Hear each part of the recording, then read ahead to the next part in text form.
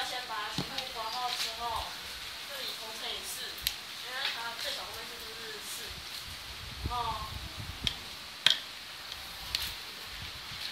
然后接下来这一部分掉之后是十四 x 减二 x 加一。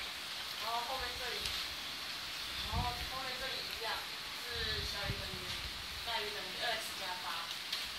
然后这一行其实要小心，因为前面那个括号变号，对不对？后这里啊，我们用一项一项法则可以把它算出来是负八 x 大于等于七。然后因为这里的符号是要变号，所以是 x 小于 x 的八分之七。然后这这里因为它这是负的，这这里因为它是这里是等于的关系，所以这里是要实心的。要